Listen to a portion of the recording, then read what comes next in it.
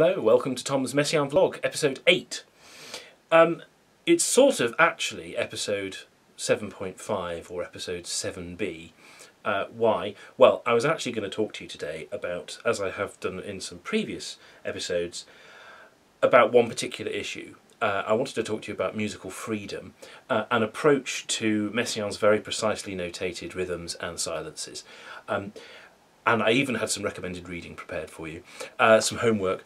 Anyway, I'm going to roll that over to next week, and I just wanted to share a couple of things with you um, this week, uh, a couple of smaller things. So, first thing, I said it was episode 7.5 or 7b. That's because I watched episode 7, uh, which I recorded previously, and maybe you've already seen. Uh, and I was watching myself play, the bits where I'm playing, and I move around a lot, so much when I'm playing.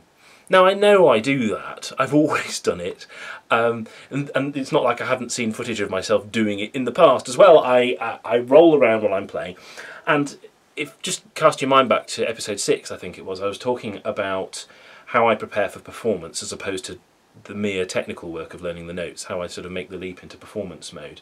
And I was talking about how I sing while I play and all that sort of stuff. Well, I also move while I play, not necessarily deliberately, but um, just well, it, I mean, it's, it's, it's involuntary. I, I just respond to the music in that way, and uh, no, how how sweet, how lovely.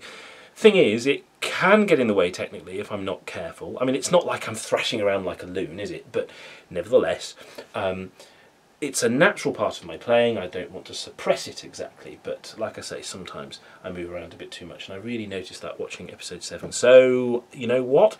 Watching my own vlog, I learned something, and I thought, you know what? I need to do some work on sitting still in this piece. That's a stage I often go through in preparing new music, particularly stuff that is difficult or that I'm particularly emotionally involved with. I'll find I'll move around quite a lot, and I need to do some practice where I deliberately sit still while I play. So uh, that is some work that I'm going to be doing over the next couple of weeks, some sitting still practice. All right, so that's the episode 7.5 thing. Uh, also, I talked uh, about episode uh, episode 7, uh, movement 7 of, of the Livre de Saint-Sacrement, oh gosh, several episodes ago. I took you on a little guided tour of the piece. Uh, and I've just been looking at some details in it, um, well, sort of consistently uh, since then. Uh, but there are a couple of things which um, which are worthy of a little bit of attention in a vlog post, perhaps, just briefly. So I mentioned, um, if you remember, uh, there are some chords, some sort of shapes, uh, where you have G sharp and F sharp. This is an example of one of them. G sharp and F sharp together. Uh, I need some stops out. Uh, then D sharp and C sharp together. Then A and B and then goes up the octave, okay? And you have finger 5 and 4, and then fingers 3 and 2, then the thumb across the A and the B, and then 5 and 4 at the top. The thing I found, um, it's very easy in context, and when I play this whole phrase to you in a minute, I bet I'll do it, because I haven't quite eradicated the problem yet, and I'm tired at the moment, so I probably recorded this vlog this morning, but anyway.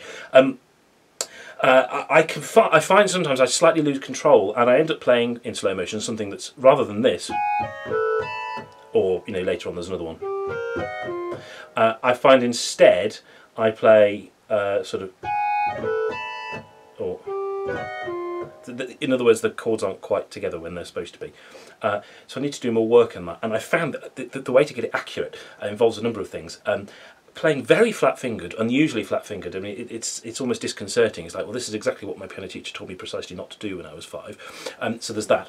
And uh, also, just thinking about where the weight falls in my hand.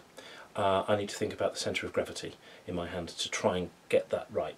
Anyway, that's a process that's ongoing. The other thing uh, is every, in this particular passage, page 50 of the Livre de Saint-Sacrement, every single chord in the first three lines has some sort of articulation marking. A tenuto mark, or um, a slur over a pair or a group of chords, and then a marcato or something like that you're told how to play every single um, every single chord. So if I ignore that,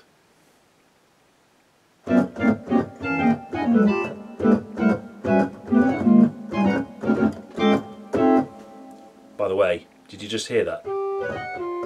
the sharp-eared amongst you would have heard me do that. So that, you know, like I say, it needs a bit of work. Anyway, that's without any of the articulation markings. Now listen to the difference I think it can make if you actually do what Messiaen asks.